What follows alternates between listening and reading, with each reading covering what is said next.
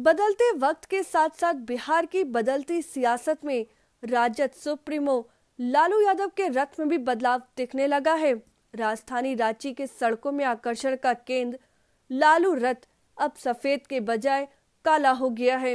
राजद प्रशंसक विजय यादव के मुताबिक सत्तर के दशक से चलती आ रही सफ़ेद रंग की लालू की रथ को नई टेक्नोलॉजी और रंग रूप से बदल दिया गया है। साथ ही अम्बेसडर कार के चमचमाते स्वरूप को देख युवाओं में भी उत्साह है।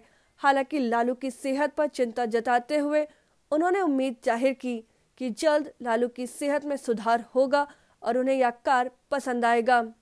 मोटर यान अधिनियम के तहत एक सवाल पर उन्होंने कहा है कि कानून के हिसाब से गाड़ियों के आगे अपना पद या बम्पर नहीं लगाना है, लेकिन अम्बेसडर के शुरुआती दौर से कंपनी ने लगा कर दिया है।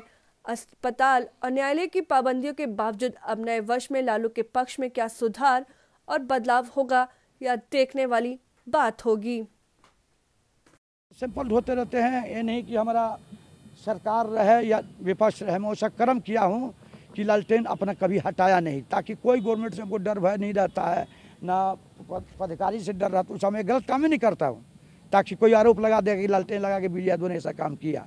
गलत काम करते तो सरकार नहीं रहता तो हम लालटेन हटा के दूसरे पार्टी में चले जाते उसका झंडा लगा लेते हैं लेकिन मैं ऐसा नहीं करता हूँ। मैं मेरा सिद्धांत जब तक है ज़िंदगी का तो कोई भरोसा नहीं है कब है।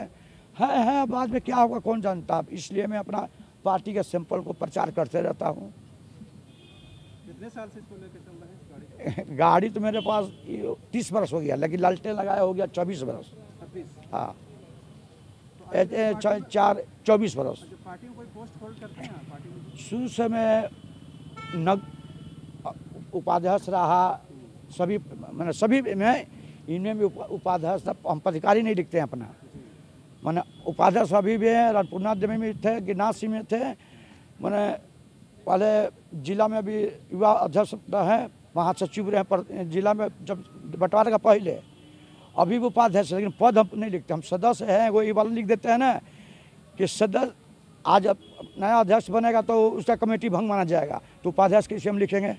सदस्य हम अपना है तो इसको कोई नहीं हटा सकता। अगर आपको हमारा वीडियो पसंद आया हो तो इसे लाइक करें, सब्सक्राइब करें और साथ ही बेल आइकन दबाना ना भूलें।